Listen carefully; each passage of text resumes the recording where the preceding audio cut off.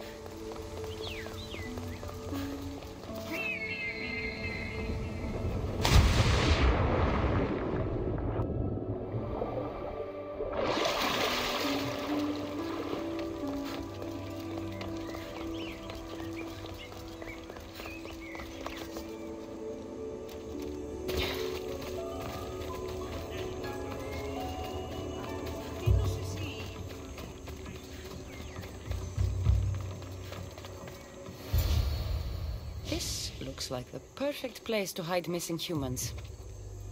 Locked. But I think I know what opens this.